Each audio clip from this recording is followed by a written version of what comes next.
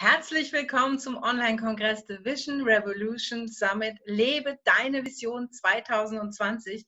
Das ist mein Mann Sönke Hansen Kohlhepp. Hallo, und das ist meine wundervolle Frau Sabine Kohlhepp. Wir beide sind die Kongressveranstalter und wir dürfen euch heute hier im Interview einen ganz, ganz wundervollen Menschen vorstellen einen äh, sehr kreativen Künstler, einen Rapper, einen Speaker, einen Autor. Ich weiß gar nicht, was man noch alles nennen darf. Ähm, toller Musiker, Songwriter mit wundervollen Texten, die wirklich ans Herz gehen, die tief berühren. Wir dürfen hier herzlich begrüßen. Seom, herzlich willkommen. vielen, Hallo. vielen Dank für die Einladung. Hi, schön hier zu sein. Was für ein Intro. Wow. das geht runter wie Öl. Jetzt bin ich ganz geflasht. Vielen, vielen Dank. Ich freue mich auf ein schönes Gespräch mit euch und das Thema passt ja wirklich wunder, wunderbar. Deswegen ja. kann es nur inspirierend werden. Schön. Toll. Also wir haben uns ganz, ganz dolle darauf gefreut und mhm. äh, dass du auch zugesagt hast, weil es ist nicht immer schwierig, so wundervolle Experten für einen Kongress zu bekommen. Und wir sind da wirklich ja ganz happy, weil es passt auch dieses du lebst deine Vision ähm, und du hast auch so schön beschrieben bei dir, du ähm, wirkst im Zeichen des Guten und deine Texte, ähm, die bewegen, die sind mitfühlend. Äh, das letzte Lied, was ich mir angehört habe, war Licht. Ähm, du hast wunder, wundervolle Texte, die mhm. ganz, ganz tief gehen. Unsere Fragen jetzt so an dich sind, wie hat dein Weg angefangen? Weil viele Menschen momentan, die da draußen sind, befinden sich gerade in der aktuellen Situation in so einer Findungskrise, in so einer Sinnkrise. Die wissen gar nicht, wer sie sind. Die wissen nicht, was wer bin ich, was passiert gerade hier und hat mein Leben äh, überhaupt noch einen Sinn oder was ist der Seelenplan? Und ich finde, und vor allen Dingen viele geben viel zu leicht auf. Das ist es auch noch. Ja. Ähm, es ist eine herausfordernde Zeit und du hast so schön beschrieben, wie wichtig es ist, dran zu bleiben. Würdest du uns bitte von deinem Leben erzählen, wie dein Leben damit angefangen hat und wie du diesen Weg gegangen bist? Weil das brauchen die Kongressteilnehmer. Sehr gerne.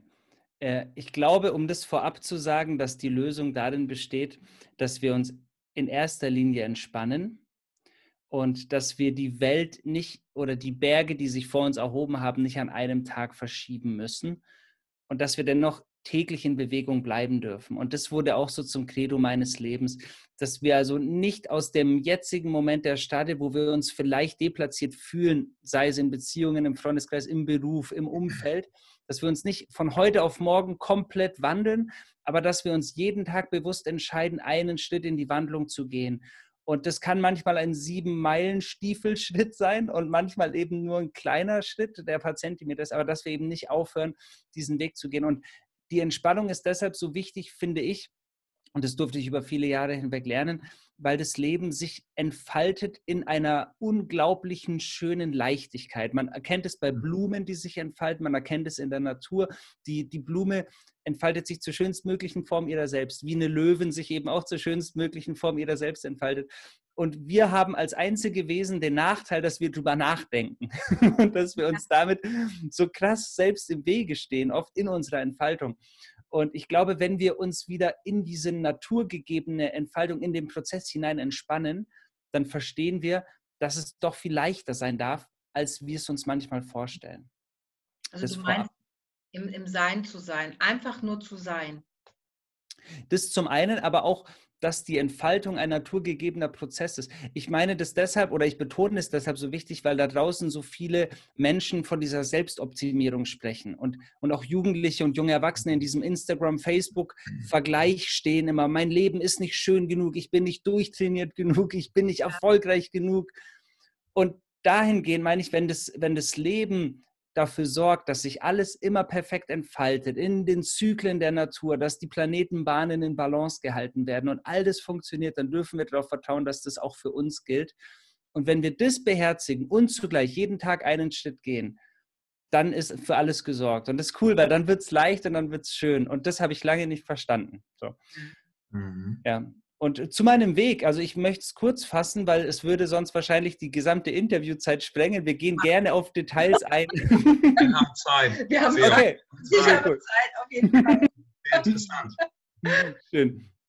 also der, der vielleicht wichtigste Punkt oder Transformationsprozess war schon, als ich fünf war, das ist oder sechs. Es war so, dass meine Eltern in ja, ganz klassischen Berufen waren. Mein Vater war Bankkaufmann, meine Mama war Versicherungskauffrau und dann wurde meine Mama schwer krank. Die Ärzte haben sie fast aufgegeben, haben gesagt, ohne schwere medikamentöse Behandlung wird sie nicht weiter leben können. Und dann kam ein Heiler oder mehrere Heiler in das Leben meiner Eltern. Und meine Mutter lernte in sehr kurzer Zeit sehr intensiv Meditation und wurde mit Chakra-Energiemassagen und zusätzlich mit Naturheilverfahren behandelt. Und kurzum, das, was die Schulmedizin über Jahre nicht geschafft hat, hat die Selbstheilungskraft in Verbindung mit diesen Methoden innerhalb von wenigen Wochen bis zwei Monaten geschafft und meine Mama war geheilt. Und oh. dann haben meine Eltern gesagt, sie, sie möchten das, was ihr das Leben gerettet hat, selbst lernen, weil das einfach alles verändert hat. Ja. Und dann sind sie auf Seminare gegangen und haben sich fortgebildet, jedes Wochenende. Und da war ich vier bis zehn in dem Alter ungefähr. Und in diesem Zeitraum habe ich jedes Wochenende natürlich den Weg mitgemacht. Also war mit bei den Seminaren, klar, und habe meditieren gelernt und den Lichtschutz gelernt und, und Fußreflexzonenmassage bekommen. Und dann eben mit, ich glaube, acht war ich, hat meine Mom sich selbstständig gemacht, hat eine Praxis aufgemacht für, als Meditationslehrerin für Reinkarnation, Chakra-Energiemassagen und ähnliches. Und mein Vater ist Heilpraktiker geworden, ist Heilpraktiker, Personal Coach und psychologischer Berater geworden. Ja. Und so haben sie praktisch das, was ihnen das Leben gerettet hat, selbst gelernt. Und als ich dann knapp zehn war, war diese Transformation, diese Metamorphose vollzogen die alten Jobs waren nicht mehr da, sie waren komplett äh, neu, wenn du so willst. Und, mhm. und ich habe das halt völlig naturgegeben mitbekommen. Also für mich war das, du musstest mich nicht überzeugen, Kind, meditiere doch mal, weil ich habe ja gesehen, dass es Leben rettet. Also das war für mich natürlich in diesem Alter Gold wert, weil der, genau, weil, weil der Wirkungsgrad dessen, was da passiert ist, halt sofort erkennbar war. Und äh, so kam ich zur Spiritualität und so war also für mich das was völlig Normales und was völlig, ähm, ja, alltagsnah ist, wenn du so willst. Und dann habe ich mit, mit zwölf Jahren die Musik für mich entdeckt und ich habe ich hab Rap entdeckt und habe das geliebt und habe gespürt, wow, genau das will ich tun. Mhm. Und dann verknüpften sich diese Felder einfach so, die, die Spiritualität und die Musik. Und dann, dann habe ich angefangen, Texte zu schreiben, Musik zu machen mit, mit 14, so wirklich intensiv und, mhm. und ja, mittlerweile mache ich das seit über 20 Jahren, habe äh, über 20 Alben auch gemacht. Also mein 21. produziere ich gerade. Habe zwei Bücher geschrieben in der Zeit. Habe äh, mittlerweile auch viele Seminare und so gegeben. Das ist ja die Liste vorhin cool vorgelesen. Ja. ja. Und ja, ich glaube, was wichtig zu erwähnen ist, ich habe eben oftmals mich selbst limitiert, weil ich meinem Umfeld, und damit meine ich weniger meine Eltern, sondern meine Lehrer, andere Bezugspersonen, die Gesellschaft, weil ich denen geglaubt habe, habe ich mich sehr oft limitieren lassen. Ja. Habe nicht an meine Kraft geglaubt. In der Zeit, von der ich jetzt spreche, Ende der 90er, war ja auch Hip-Hop in Deutschland erstmal gar nicht existent und wenn dann als was wirklich bescheuertes Verrufen, wenn du so willst. Also, das war so, ja. ja. ja da gab es jetzt nicht wirklich. Nicht akzeptiert nee. auch nicht. Ne? Das genau. war mir so abgetan so. Genau. Underdog-mäßig auch ja, der ganze ja. Hip-Hop, also das setzt sich nicht durch, das setzt sich nicht durch. Äh, äh Gangster und es, ja genau, setzt sich nicht durch, haben wir immer gehört. Ja, ne? Das ist irgendwie nicht so, nicht so, nicht so konformfähig. Ne? Ja. ja. Genau. Und man muss dazu sagen, es gab ja zu der Zeit auch kein YouTube, kein Facebook, also all diese Möglichkeiten, wo man praktisch in die Welt kommen kann, um selbst bekannter zu werden, die gab es ja nicht. Also ohne großen Plattenvertrag hattest du keine Chance als Musiker, dass was aus dir wird. Und so haben mir das natürlich auch alle Lehrer gesagt. So, das bedeutet, ich hatte in Musik auch eine Vier oder in Deutsch oder in Kunst. Und das ist so paradox, weil alles, was ich jetzt tue, beinhaltet ja diese Fächer. Das heißt, ich hätte in all den Fächern eine Eins haben müssen, mhm. wenn ich nach dem gehe, was ich heute beruflich mache. Und das hatte ich aber nicht. Und demnach ist natürlich der Glaubenssatz etabliert worden, dass ich von dem nicht wirklich leben kann. Und dann habe ich das gemacht, was viele machen. Ich habe Alternativen gewählt und habe Kompromisse gemacht und Kompromisse. Ich wurde erst Erzieher, dann war ich Einzelhandelskaufmann, dann hatte ich mal einen eigenen Laden und war da super unglücklich. Und zum Schluss habe ich mich immer wieder entschieden, meinem Herzen zu folgen und wenigstens mehr von dem zu tun, was in etwa der Berufung entspricht. Ja. Zuletzt habe ich mir dann eben die Frage gestellt, was, was macht am meisten Freude, wenn es schon nicht die Musik sein darf? Und dann kam eben mit Menschen zu arbeiten, mit Sprache, mit Gesang, mit Rhythmik. Und dann habe ich mein Staatsexamen als Logopäde gemacht. Und ja. das war dann die dritte Ausbildung. Ich war schon Mitte 20. Dadurch, dass ich Ausbildung nach Ausbildung gemacht habe und nie lang in den Berufen gearbeitet habe, habe ich nie Geld verdient. Und 20 mhm. Alben, also ich habe 15 Alben erfolglos produziert, äh, Jahr für Jahr, Album für Album. Und das kostet natürlich viel Geld. Das heißt, ich war mit Mitte 20 hoch verschuldet. Und äh, es war nicht leicht. Also es war mhm. wirklich ein harter Weg bis dahin, weil ich eben auch sehr, sehr, ja, hasseln musste, also sehr wenig Geld hatte und, und nie das Gefühl hatte, wirklich anzukommen und auch manchmal das Gefühl hatte, ich bin der Einzige, der an diesen Traum glaubt. Und dann, dann war ich Logopäde zum Schluss. Und als Logopäde habe ich dann gearbeitet und hatte einen Patienten und das war so der große Schiff, der war Millionär und der hatte mich irgendwann gefragt, warum ich mich nicht selbstständig mache mit einer eigenen Praxis. Und äh, ich habe ihm erklärt, dass mir dafür das Geld fehlt und die Mittel. Und er sagte, ja, ich gebe Ihnen das, kein Problem, ich glaube an Sie, Sie sind ein guter Logopäde, ich gebe Ihnen das als zinsfreies Darlehen, wenn man so will. Oh, Hammer. Und hat gefragt, so was würde es kosten? Da habe ich so überschlagen, ja, um die 50.000 Euro vielleicht. Und er sagte, ja, kann ich Ihnen geben. Und um mich herum sagten halt alle, macht es, das ist der beste Weg, gesellschaftlich anerkannt und so. Und ich kannte das schon, weil ich zuvor, als ich im Einzelhandel gearbeitet hatte, ja auch einen Laden bekommen habe. Und da habe ich diese Abzweigung schon mal genommen und wurde so unglücklich, wie ich gerade angeschnitten habe. Ich hatte das Gefühl, völlig, ja, mich selbst meines Traumes betrogen zu haben. Und als dieser Patient mir das Angebot machte und alle um mich herum sagten, mach das, spürte ich wieder, dass ich an derselben Gabelung stehe. Und ja. dass ich scheinbar vom Leben an die gleiche Stelle gesetzt wurde. Nur was vorher der Laden war, war jetzt eine logopädische Praxis. Und nur weil das lukrativ ist und nur weil das gesellschaftlich anerkannt wäre, eine Praxis zu haben und man damit viel Geld verdienen würde, wusste ich aber, das ist nicht der Weg. Und es kostete mich so viel Mut, gegen all die Meinungen im Außen zu sagen, so, nee, ich möchte nur Musik machen. Und du musst verstehen, ich hatte noch keinen Plattenvertrag. Das heißt, alle haben mich für verrückt erklärt. Also mein Vater sagte, Kind, vertraue auf Gott, aber pflanz Kartoffeln an. das habe ich nicht gemacht. Und ich habe dann das Angebot abgelehnt. Unter, unter wirklich, unter den, den Blicken der Menschen, die alle sagten, du, du bist wahnsinnig, du bist verrückt, das kannst du nicht machen. Und das Spannende ist, und das wurde so zum Mantra meines Lebens, ich sagte, gib nicht auf. Und ich hatte 2004 einen Song geschrieben, der hieß Gib nicht auf und der war im Internet. Und nachdem ich das Angebot abgelehnt habe, in dem tiefen Vertrauen, dass ich von meiner Musik leben werde und meine Vision kreieren werde, hat sich, hat sich eine Plattenfirma gemeldet bei mir. Und, ja. Hast du losgelassen? Ja, exakt. Und dieses, dieses Loslassen, das, das öffnet ja wieder die Türen. Und wenn du diese ganzen drei Jobs, die du gemacht hast, äh, die hast, da warst du ja nicht irgendwie ja. mit Herz so dabei. Das hast du ja irgendwie vielleicht auch zur Überbrückung gemacht. Das ist aber nicht das, was du, was deine Seele richtig wollte. Genau. Denn die ja. Musik, das ist ja das, was deine Seele will. Und genau. dann ist auch der Erfolg nachher. Und wenn du das loslässt, was dich ja so, so festhält, das stagniert dann ja in dem Moment. Ja. Ne? ja. Und das Gefühl war auch so stark, so, du musst jetzt dem Universum oder Gott oder wie du es nennen willst, deinen Beweis erbringen, mhm. dass du den Mut aufbringst, alleine diesen Weg zu gehen. Ja. Und das Spannende ist ja, ganz oft wird uns ja erzählt, auch in spirituellen Büchern, geh den mhm. Weg deines Herzens und der ist leuchtend und der ist schön. Und nur, nur, dass wir geredet haben, das wirkte erstmal nicht so. Also ich stand an dieser Gabelung und der Weg des Kopfes, also die logopädische Praxis, der war solide, der sah leuchtend und schön aus und gepflastert mit Rentenbeiträgen, weißt du, und alles gut. Ja. Das ist dieses, diese Sicherheit, Sicherheit dieses ja, Sicherheitsdenken ja. auch, was ja viele Menschen im Verstand eben halt haben. Genau. Ähm, aber man kommt ja da nicht weiter und seinen Traum kann man erst recht nicht erfüllen, dadurch dann.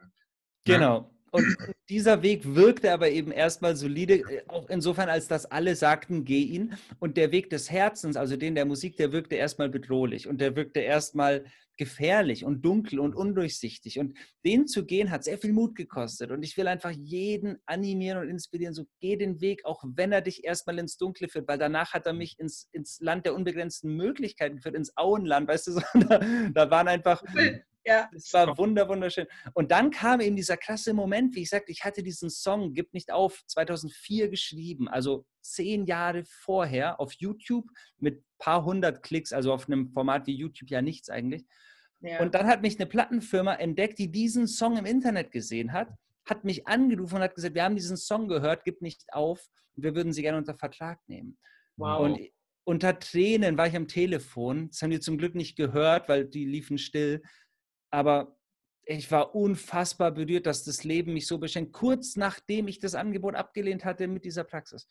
Und dann habe ich meinen ersten Plattenvertrag bekommen. Und dann habe ich dieses Album Spirit schon fertig geschrieben gehabt. Ich hatte das schon in der Schublade, weil ich wusste, ich muss meinen, meinen Beitrag vorher leisten. Also du kannst ja nicht erwarten, Bestseller-Autor zu werden und einen Vertrag zu bekommen, bevor du deinen Bestseller nicht geschrieben hast. Und viele ja. Menschen unterliegen ja diesem Glauben so, bitte rette mich, es muss jemand kommen und mich retten und dann, dann leiste ich meinen Beitrag. Anstatt zu sagen, ich leiste meinen Beitrag und dann genau. kommt. Richtig. Ja. Und dann habe ich mit diesem Vertrag eben mein, meinen ersten großen Erfolg gehabt. Dann konnte ich meine Stundenzahl als Logopäde irgendwann kürzen von 40 auf 30 und dann auf 20 Stunden.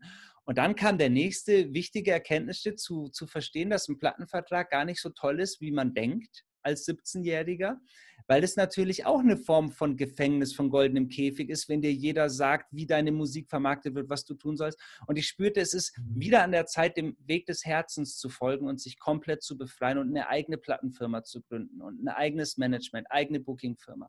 Und das war wieder so, dass um mich herum alle Experten sagten, mach das nicht. Endlich hast du einen Plattenvertrag, endlich ist es, was ja. du wolltest. Und ich spürte, nee, aber ehrlich, mein Herz sagt, befreie dich weiter, entfalte dich noch größer. Ja. ja. Und dann habe ich entgegen. Jahren, ne? Äh, Und ja. Jahren. Also wie, wie alt warst du da, wo du die ja. Plattenfirma gegründet hast? Weil äh, das ist ja, ja unglaublich. Ja, genau, also, das ist ja interessant. Das war vor vier Jahren. Vor vier Jahren. Vor vier Jahren. Ja. wow. Also, genau. aber diesen Schritt zu gehen, diesen mhm. Mut zu haben, mhm. an sich selber zu glauben und zu sagen, ich fühle es und ich habe Gott Vertrauen, ich habe so tiefes Vertrauen. Ich weiß, wenn ich das jetzt loslasse, ja. dann öffnet sich für mich die nächste Tür in meine persönliche Freiheit. Ja. Ja. Ich dachte mir halt immer, wenn das Universum mich schon so weit gebracht hat, dann wäre es ja wirklich äh, sinnwidrig, wenn es ja. jetzt nicht weiter funktioniert. Es muss ja weiter funktionieren. Es gäbe ja sonst keinen Sinn. Ja. Und dann habe ich das getan, entgegen aller Expertenmeinung. Und das war bis heute die beste Entscheidung meines Lebens, weil das hat mich tatsächlich in die komplette Freiheit geführt, in die finanzielle Unabhängigkeit, aber eben auch in die komplette Entfaltung meiner Verwirklichung. Also ich kann seitdem wirklich tun, was ich möchte, wie ich es möchte und kann auch Firmen, Projekte und andere Dinge unterstützen, wie ich es will. Also wenn jemand einen Kongress beispielsweise veranstaltet und sagt, schau, ich habe diesen Song von dir gehört, darf ich den verwenden? Ich bin mein eigener Chef in allen Bereichen, kann sagen, klar, schenke ich dir, hau rein. Und mit einer Plattenfirma als kleines Beispiel im Hintergrund äh, funktioniert sowas nicht so schnell. Da sitzen vier Manager dazwischen und wenn, dann kostet es viel Geld. Und, und das waren einfach Dinge, wo ich merkte, das ist die Qualität der alten Welt, alte Zeitqualität, die ich nicht mehr leben und supporten will. Ich will neue Wege gehen. Ich will auch, dass meine CDs nicht auf Amazon zu kaufen sind, sondern bei mir, weil ich will die neuen Wege gehen, die neuen Werte verwirklichen. Und ich kann nur jedem empfehlen, diesen Mut immer und immer wieder aufzubringen, weil es einen so unfassbar stark erfüllt. Und ich habe jetzt halt das große Glück, ich lebe meine Berufung, ich weiß, wo mein Platz ist. Und ich habe das große Geschenk, Menschen einfach zu helfen, ihren Platz zu finden. Und letztendlich tue ich mit dem, was ich mache, nichts anderes. Ich zeige Menschen Wege, wie sie zu sich finden können. Sie müssen halt die Wege selber gehen. Ja. Und ich liebe den Soundtrack dazu. Super. Und das, das, ist so unglaublich schwierig. Also wir, wir kennen das auch von uns. Wir haben jetzt mit diesem Kongress eines unserer Herzensprojekte erfüllt, weil wir einfach gesagt haben, wir wollen viele, viele wundervolle Menschen ähm, eine Plattform mhm. geben, ähm, wo sie sich zeigen können, wo sie sich, ähm, ich sag mal, präsentieren können, wo sie einfach zeigen, dass, dass es es wert ist, ähm, sich der Herausforderung, es ist ja eine Herausforderung, anzunehmen und bei sich selber hinzuschauen, seine Vision zu leben, wirklich den Weg des Herzens zu gehen und nicht dabei aufzugeben. Und, und wir haben hier so viele tolle Experten mit dabei, die diesen Weg gehen und egal welcher in welchem Bereich ist, aber mhm. es ist so wichtig, an sich selbst zu glauben. Und das ist so, wie hast du es immer geschafft? Ähm, ich meine, es gab ja auch mal Höhen und Tiefen, die gibt es ja überall in diesen Bereichen, diese Berg- und Talfahrt, die kennt ja jeder von uns. Mhm. Ähm, wie hast du es immer wieder geschafft, ähm, nur durch Glauben, durch Meditation oder wie hast du es immer wieder geschafft, dich aus den Tiefen herauszuholen? Hattest du ja spezielle Freunde, Familie, wie auch immer? Wer hat dich dabei noch so mit unterstützt und auf deinem Weg begleitet, der dir besonders am Herzen liegt?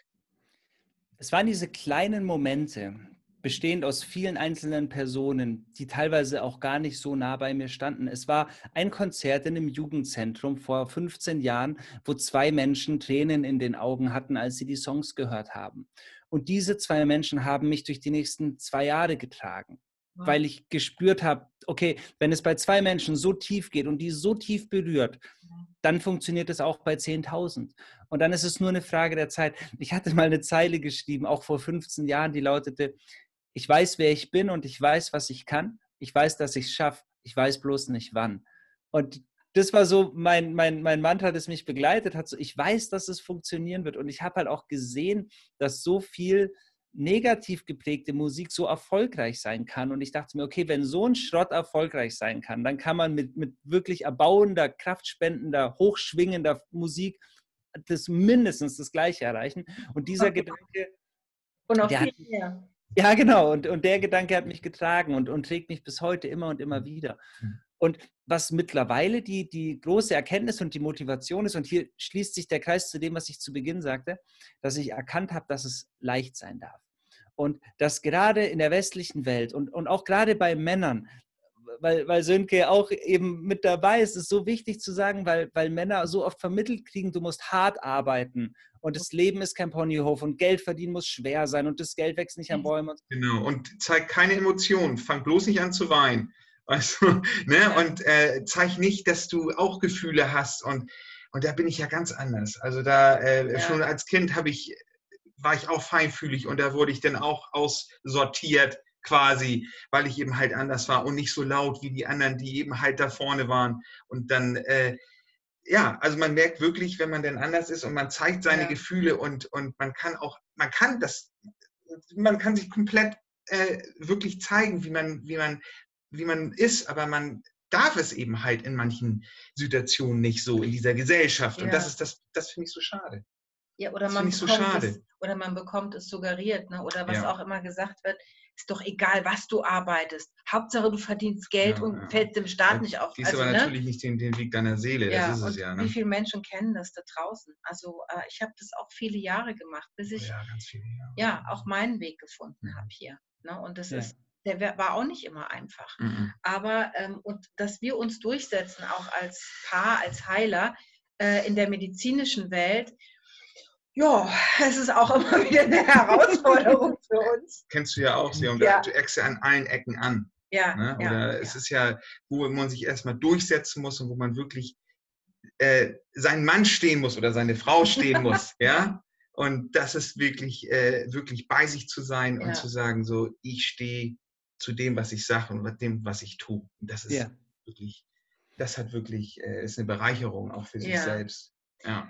Und, und, genau das war, entschuldige, wenn ich euch unterbreche, gen, ja, genau, genau das war der Game Changer schlechthin in meinem Leben, zu erkennen, dass das ein Trugschluss ist. Also, dass das eine Riesenillusion war, der ich unterlag, dass ich erstens mich nicht zeigen darf, wie ich bin, weil das ist der, der grundsätzlich größte Erfolg in meinem Leben. Also die Musik und, und alles, was ich mache, lebt ja von dieser authentischen Sicht und, und genau. den gelebten Gefühlen. Und dass es leicht gehen darf. Und wirklich zu mhm. verstehen, das, was Lehrer mir sagten, okay, wenn du einen einfachen Weg gefunden hast, diese Aufgabe zu lösen, dann muss der falsch sein dass das nicht mein Problem war, sondern dass das das fucking Problem des Lehrers war, weil, weil der sich in seinem Kopf halt auf Probleme fokussiert hat, anstatt einfache Lösungen zuzulassen, um jetzt ein Beispiel zu nennen. Ja, ist so. Und ich finde das so, so schön und befreiend zu erkennen, dass es in Leichtigkeit fließen darf und dass wir in Leichtigkeit auch in der größten Kraft sind. Und wenn wir in unserer Freude sind, dann fließen wir in diese Leichtigkeit und dann fließen wir eben wiederum in die größte Kraft. Und das ist wie so ein Gotteskreis statt Teufelskreis, also so eine Glücksspirale, die sich weiter nach oben bewegt. Und ich spüre, umso mehr Menschen das akzeptieren und für ihr Leben als wahr erachten, umso leichter und schöner wird das gesamte Zusammenleben auf diesem Planeten, weil wir dann verstehen, wow, wir dürfen durchatmen, da entsteht Weite, da entsteht, da entsteht Raum.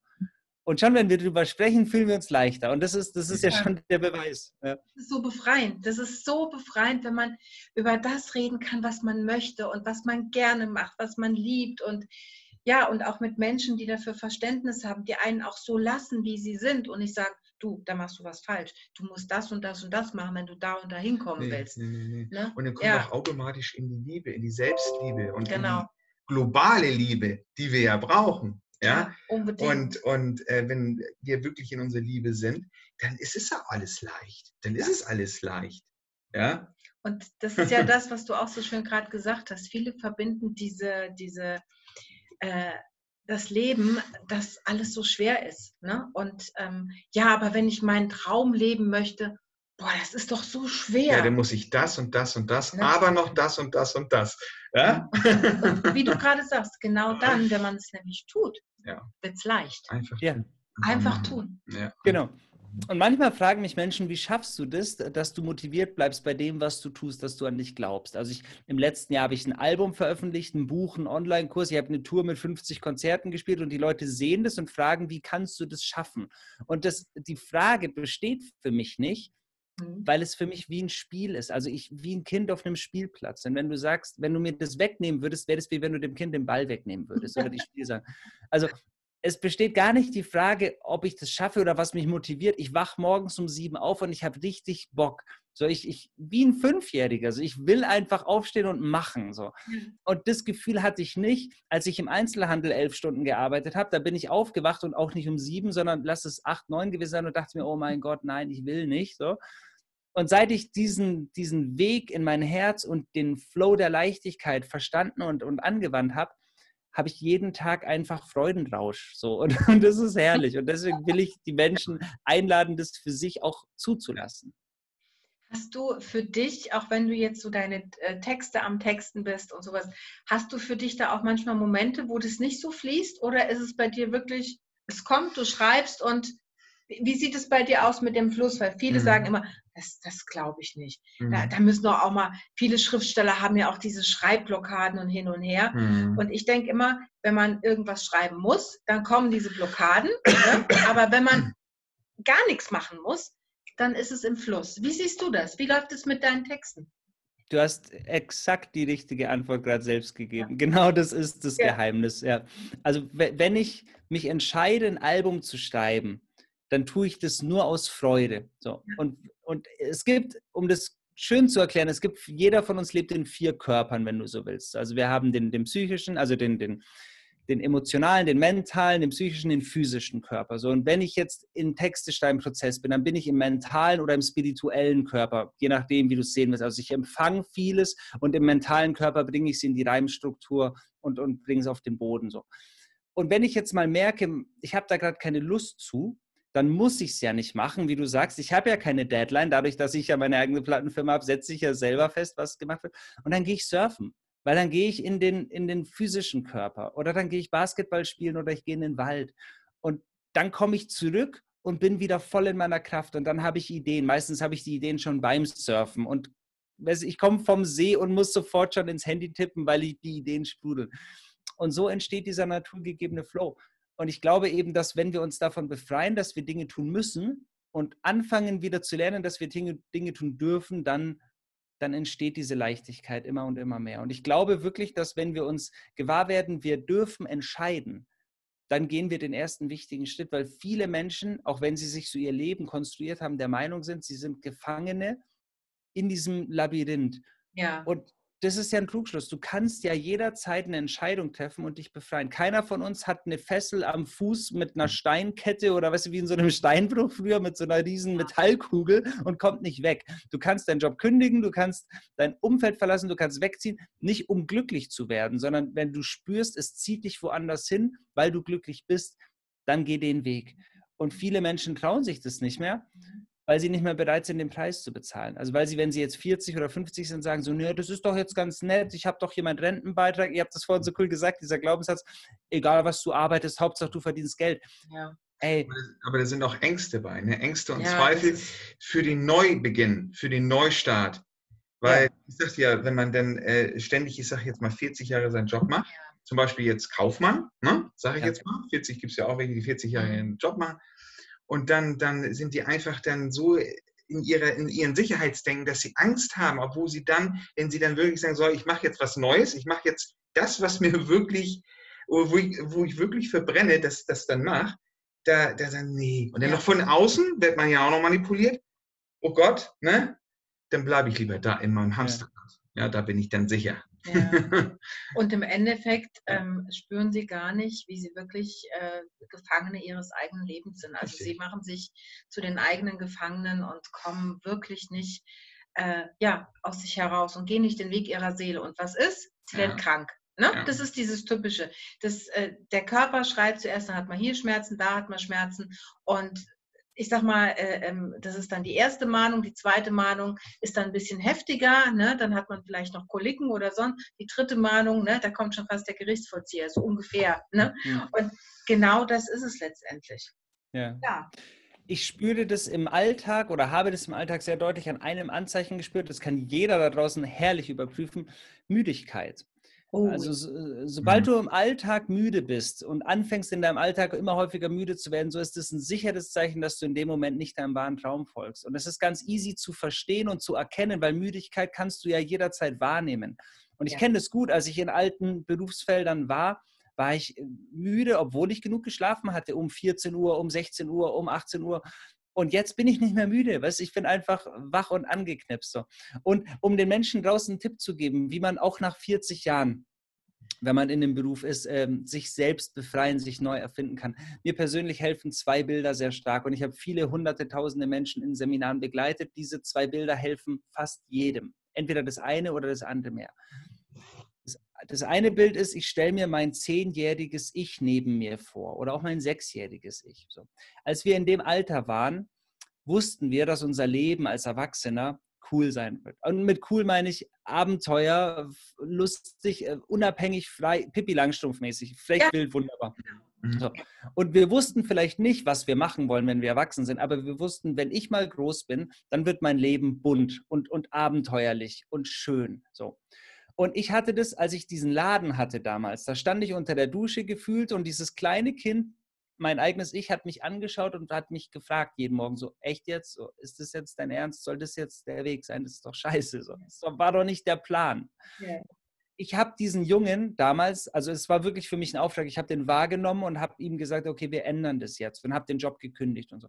Und ich stelle mir den immer vor neben mir und ich frage den immer bewusst, bist du cool damit? Ist das in Ordnung? Weil unter der Verantwortung, dass ich mein Leben meinem früheren Ich als Kind gegenüber zu verantworten habe und zu sagen, so, ey, ist das wirklich der Plan gewesen? Hast du dir das so vorgestellt, als wir zehn waren? Oder vielleicht auch nicht bei denen kannst du nicht verarschen. Also das ist der Punkt. Wir können uns selbst so viel vormachen und können uns so viel einreden und so. Aber diesem kleinen Jungen, dem kann ich nichts vormachen, weil der sagt sehr klar, nee, das ist nicht das, was ich mir vorgestellt habe. Lass mal, lass mal anders machen. Lass mal bunter, fröhlicher, freier machen. So. Das ist das eine. Und das andere Bild ist, ich stelle mich auf dem Sterbebett vor. So. Und ich bin mit 114 in meiner Visualisierung auf meinem Sterbebett, sehr glücklich, sehr zufrieden. 114 war mein Alter. Wow. Ich habe gedacht, ich werde 114 Jahre alt. da muss ich jetzt so lachen, weil ich. Oh, sehr gut. Es ist der Hammer. das ist cool. Ja. Ja, und der Hintergrund dazu ist ja ganz logisch. Schau, ich habe als Logopäde ganz, ganz viele in Altenheimen, in Pflegeheimen, in Reha-Kliniken gearbeitet. Und da habe ich viele Patienten mit 80, 90, auch mit 100 getroffen. Und wenn du die gefragt hast, so, was, was bereuen Sie oder was würden Sie anders machen? Also es kam immer, ich hätte so gerne mehr gelebt, mich mehr getraut, mich erhoben und eben auch mit 50. Wenn, wenn jemand 80, 90 ist, dann sagt er, als ich 50 war, dachte ich, ich könnte nicht mehr. Hätte ich doch mit 50 nochmal angefangen. Und dann erkennst du, auch wenn du jetzt eben 50 bist, dass das überhaupt kein Alter ist, wo mhm. man nicht mehr anfangen kann, dass das ein riesen Trugschluss ist. Und ich, ich habe von so vielen Patienten mit Tränen in den Augen berichtet bekommen, so das Allerwichtigste wäre gewesen, dass ich mich traue, meinen Träumen Leben einzuhauchen. Und die meisten, also die, die meisten bereuen nicht wirklich, was sie getan haben, sondern viel eher, was sie nicht getan haben. So, wir kennen das Phänomen.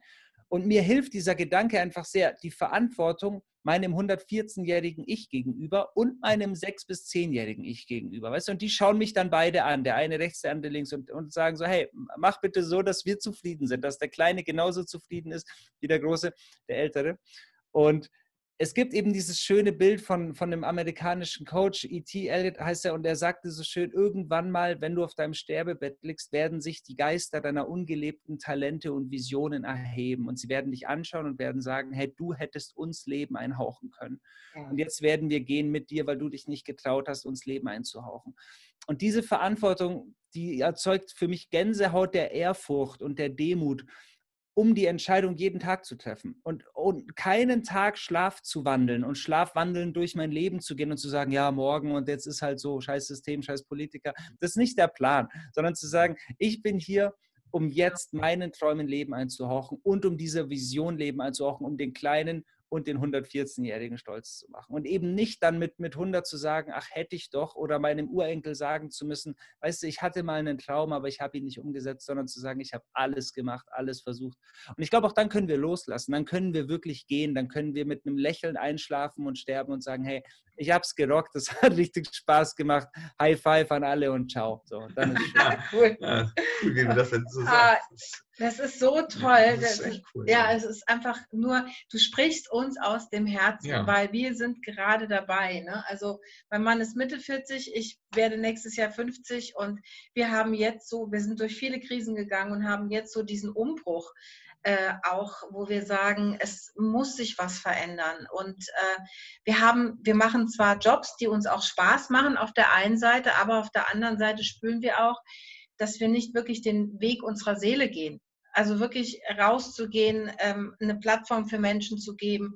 Wir haben vor, Kinderschutz- und Tierschutzorganisationen zu gründen. Also wir haben viel vor ja. und äh, wir unterstützen auch schon ganz viele, aber wir haben gesagt, nein, ich will das selber leben, ich will das selber machen, ich will das vor Ort machen, ich will ein Heim für Tiere gründen. Wir haben schon ganz viele Tiere, die wir aufgenommen haben. Und es war uns so unglaublich wichtig zu sagen, nee, wir, wir gehen jetzt hier unseren Weg, weil mhm. wenn wir mhm. es nicht jetzt machen und wir sind alt und wir liegen äh, irgendwann auf dem Sterbebett oder ich habe vor kurzem noch zu meinem Mann gesagt, ne, Schatzi, habe ich noch gesagt, du, stell dir mal vor, du bist 80 und denk dann mal zurück, wo möchtest du stehen oder mhm. wie möchtest du auf dein Leben zurückblicken? Ja. Und das ist es. da wollen wir nicht, da wollen wir nicht liegen, ja, das hätten wir machen können, das hätten genau. wir machen können und das nein. Genau. Nein, wir sagen, das haben wir gemacht und das haben genau. wir gemacht und das haben wir gemacht Ganz und das genau. haben wir gelebt. Ja. Das wollen wir sagen. Ja, ja. ja.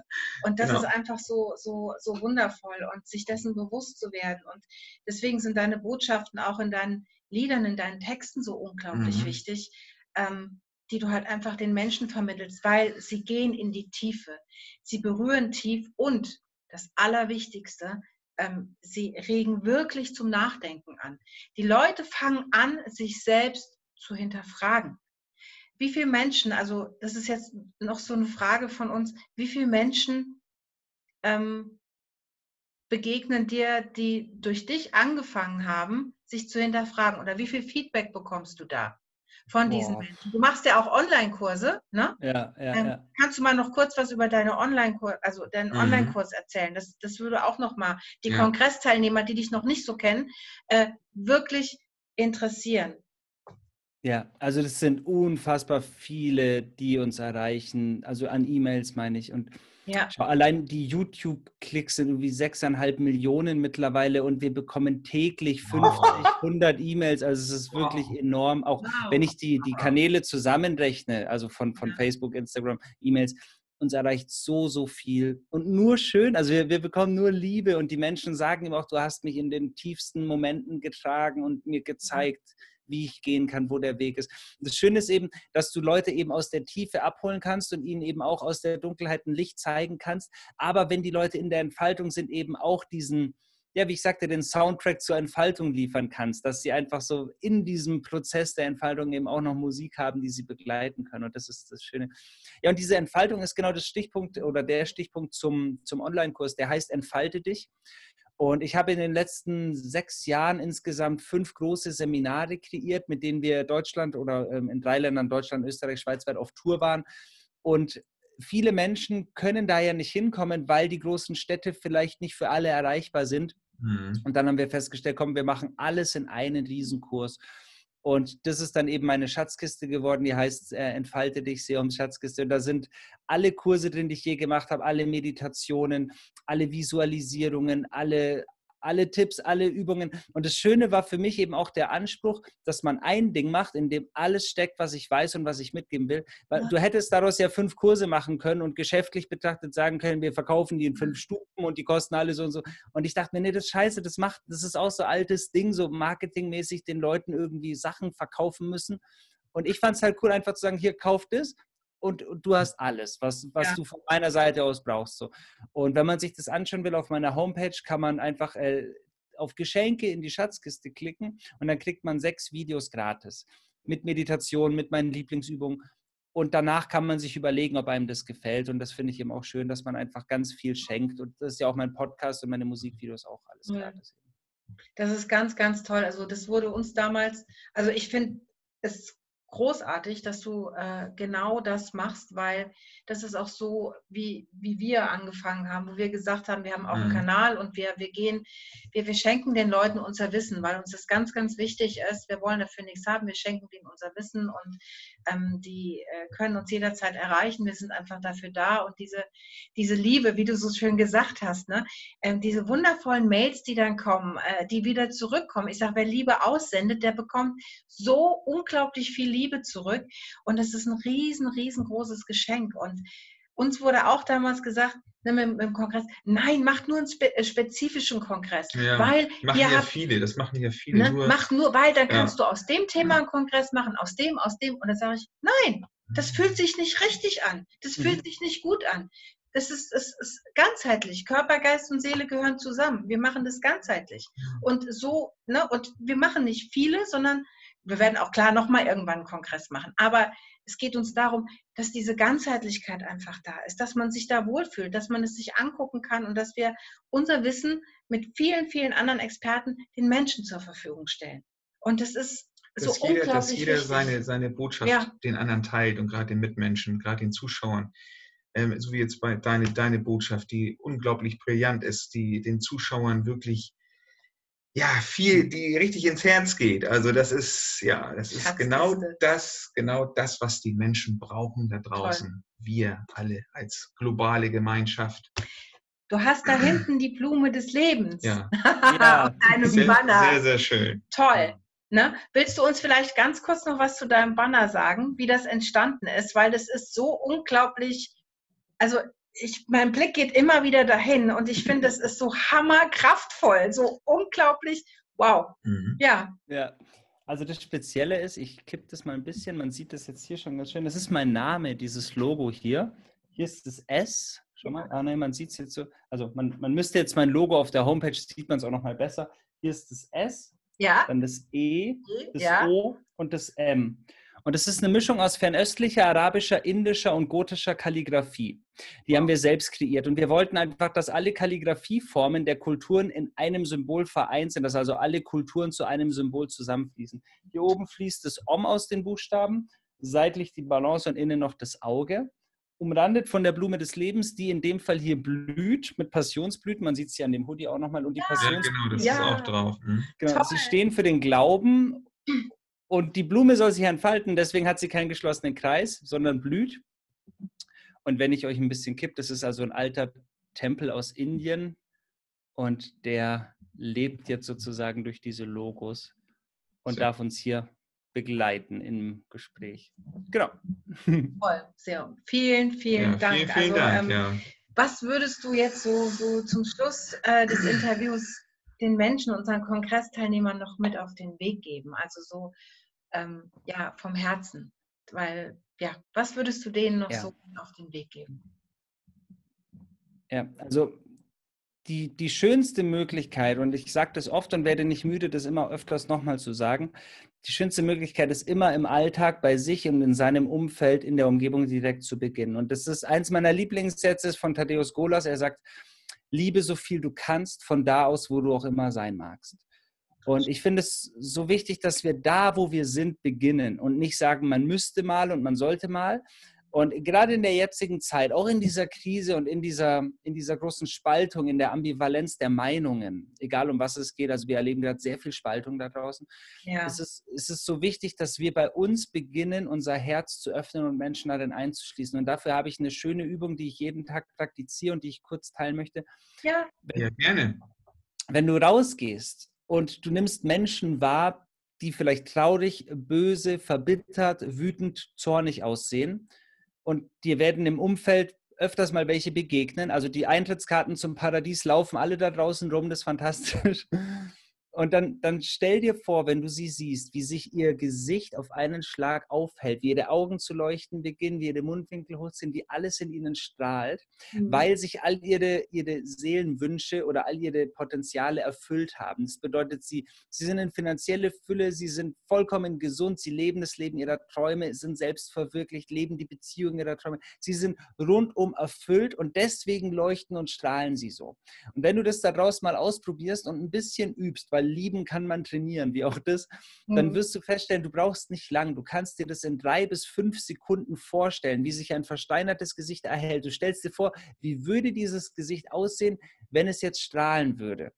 Und das kannst du vor allem bei all den Menschen da draußen machen, die du sonst vielleicht ablehnst, weil wir ja oft dazu neigen zu sagen, okay, die nette Omi am Straßenland, die, die nett lächelt, so, die, die ist cool. Also die, weißt du, die, die hat es verdient, dass ich ihr ein Lächeln schenke.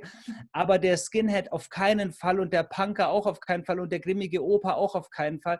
Und so verändern und verbessern wir die Welt nicht, weil gerade die, die so böse gucken, die vielleicht gefährlich aussehen, die, die sind gerade im Mangel, ne?